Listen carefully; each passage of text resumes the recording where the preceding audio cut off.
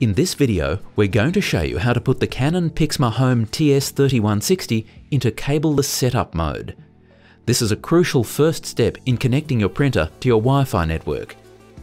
If this is the very first time you've unboxed and switched on the printer, it should already be active.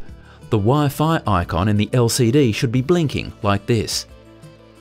If you need to manually enable cableless setup mode, it's quite straightforward. Before you start, just make sure the printer is switched on and idle. Press and hold down the Direct button, the button with a smartphone icon on it, and release when the smartphone icon flashes once. If everything's gone to plan, the Wi-Fi icon will be blinking like this. The next thing you'll need to do is use a smartphone, tablet or computer to connect to the printer and step through a Wi-Fi configuration process.